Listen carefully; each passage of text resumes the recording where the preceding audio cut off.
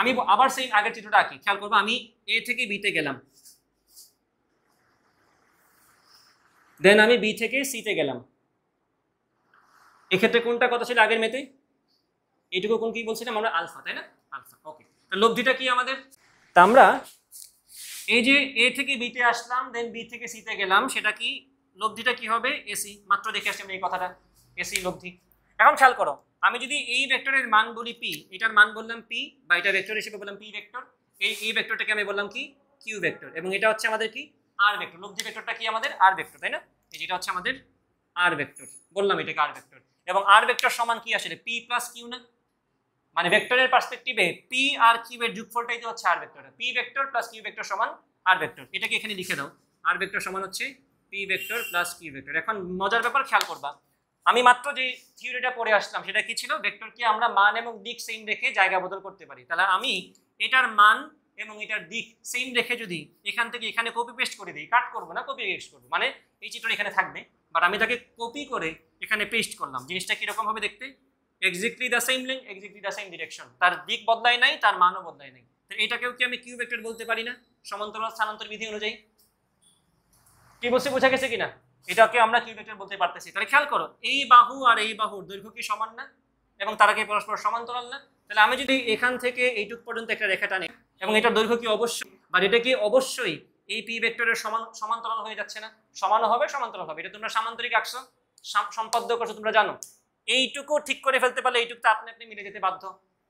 তাই কিনা? তাহলে এই যে ওভারঅল একটা সেই পাশটা এটা কোন শেড সামান্তরিক, এই বাহু এই বাহু সমান সমান্তরাল, এই বাহু এই বাহু সমান সমান্তরাল, এটা হচ্ছে সামান্তরিক। এখন খেয়াল করো, এই যে আমি বললাম যে এই কিউটাকে আমি কপি পেস্ট করছি এখানে, তাহলে এটা হচ্ছে কিউ ভেক্টর, এটা হচ্ছে পি ভেক্টর। তাহলে এই যে দুইটা বাহু, এই দুইটা বাহু বরাবর দুইটা ভেক্টর আমরা দেখতে পাচ্ছি না এখন।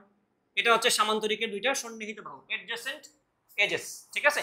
সামান্তরিকের দুইটা সন্নিহিত বাহু, পি আর কিউ। তাহলে এই কোনটা যদি আলফা হয়, ভালো করে খেয়াল করে বলো তো, এই কোনটা যদি আলফা হয়, এই কোনটাও কি আলফা না? অনুরূপ কোণ। তাহলে দুইটা ভেক্টর যদি সামান্তরিকের দুইটা সন্নিহিত বাহু বরাবর ক্রিয়াশীল হয়, তাহলে খেয়াল করো একটু একটু আগে থেকে, এটা কি অলরেডি আমাদের লব্ধি না? আমরা কি জানি না যে পি আর কিউ এর লব্ধি হচ্ছে আর এটা তো অলরেডি অ্যাকসেপ্টেড অলরেডি আমরা সূত্র প্রমাণ করে চলে আসছি, সূত্র বানিয়ে চলে আসছি অলরেডি আমরা আগে থেকেই জানি আর যে লব্ধিটা, লাল রঙের এটা তো লব্ধি। ত্রিভুজের পার্সপেক্টিভ থেকে পি এই যে এ থেকে বিতে গেছিলাম বি থেকে সিতে গেছিলাম, এটা ছিল লব্ধি। ইট ইজ স্টিল লব্ধি। এখন মজার ব্যাপার হচ্ছে এটা এখনও লব্ধি এবং মজার ব্যাপার হচ্ছে, এটা এখন হয়ে গেছে সামান্তরিকের কর্ণ। তাহলে বলা যায় না যে আমরা যদি এটা সামান্তরিকের দুইটা সন্নিহিত বাহু দ্বারা দুইটা ভেক্টরকে মানে এবং দিকে প্রকাশ করতে পারি, তাহলে ওই সামান্তরিকের কর্ণটি ভেক্টরদের লব্ধি প্রকাশ করে। এখন তোমরা বলো, বইয়ে যে তোমাদের সামান্তরিক সূত্র দেয়া আছে, সামান্তরিক সূত্রের প্রমাণ বইয়ে দেয়া আছে কিনা? বই কি খুলছো কেউ এখনও? সামান্তরিক সূত্র দেখছ? বইয়ে কিন্তু সামান্তরিক সূত্রের প্রমাণ নাই। সামান্তরিক সূত্রের প্রমাণ কিন্তু আমি এখন দিলাম তোমাদের। বইয়ে জাস্ট বলা আছে সামান্তরিক সূত্রের স্টেটমেন্টটা ওর বিবৃতিটা দেয়া আছে। সামান্তরিক সূত্র তোমাকে কি বলে?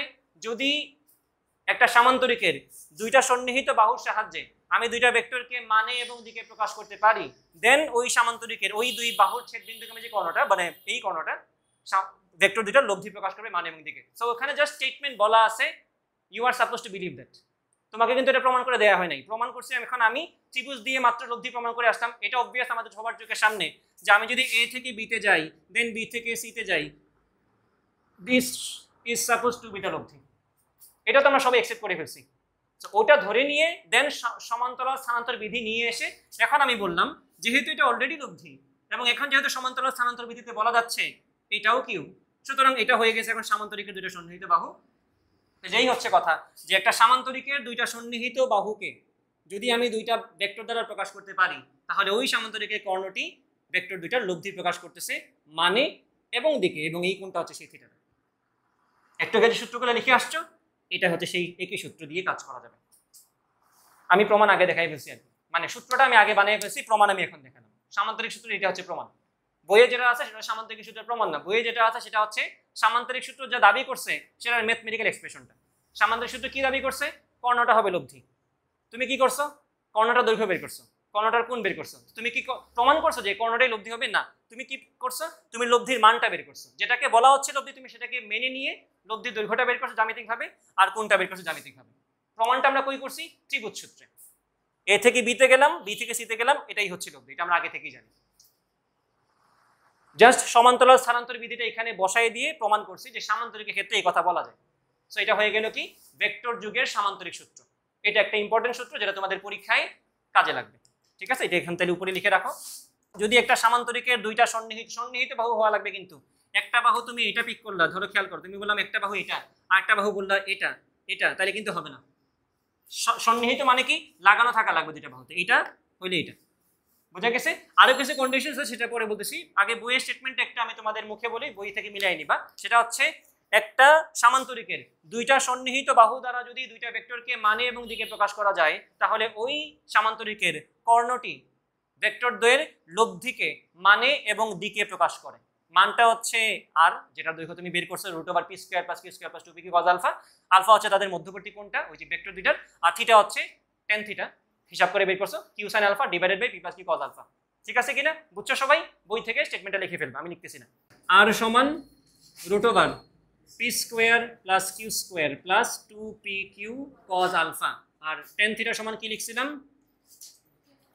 Q sine alpha divided by p plus q cos alpha এখন কথা হচ্ছে, পরীক্ষার সময় তো তুমি পি আর কিউ ধরবা, তাই না? পরীক্ষার সময় তো স্যার বলে দিবেন এটা পি এটা কিউ স্যার, তার মন মতো একটাকে ইউ একটাকে ভি একটাকে এ একটাকে বি বলতেই পারে। তোমার তো সূত্র মুখস্থ এটা। তোমার তো এই সূত্রের মতো করে তোমার চিত্রটা বানিয়ে তারপরে আনসার করা লাগবে। বুঝছ কিনা? এখন যে কথা বলব সেটা হচ্ছে, একটু মাথা রাখবা কষ্ট করে যে এই যে থিটার ব্যাপারে আসলে গেঞ্জামটা লেগে যায়, এটা একটু লিখে রাখবা সবাই, পরে বুঝতে পারবা কাহিনী আমি কি বলছি। লব্ধির কোণ যার সাথে ধরব সে পি। আমরা লব্ধির কোণ যার সাথে ধরি, সে কি পি না? প্রমাণ করার সময় হয়তো দেখছ, আমি তো লব্ধির কোণ পি এর সাথে ধরছি। এই যে, আমাদের ভেক্টর ছিল এরকম, পি একটা ভেক্টর ছিল কিউ একটা ভেক্টর ছিল। এই যে সামান্তরিক বানাইছি দেন বসিরা হচ্ছে আমাদের লব্ধি এটা হচ্ছে আমাদের লব্ধি আর এবং বসিরে মি হচ্ছে আমাদের থিটা এবং অবভিয়াসলি এটা পি ছিল, এটা কিউ ছিল।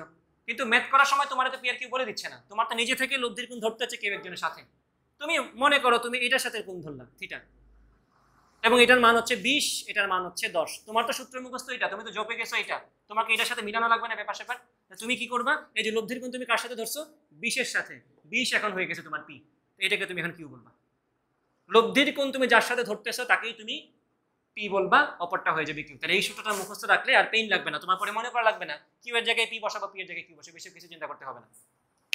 বুঝছ? তুমি সূত্রটা মুখস্থ করছ। এখন এই সূত্র অনুযায়ী তো তোমার চিত্রকে ম্যাপিং করা লাগবে। এটা তো তোমার দায়িত্ব। প্রশ্ন তো স্যার বানাবেই। স্যার তো বিভিন্ন মান দিবেই। তুমি তো বুঝতে হবে কার সাথে তুমি কোন ধরতে চাচ্ছ। যার সাথে তুমি কোন ধরতেছো, তাকে তুমি পি বলে দাও। বাকি কথা লিখে নেই, কারণ বাকি কথা তোমার এমনিই খাতার সামনে চলে আসবে। বাকিটাতে এমনি কি হবে।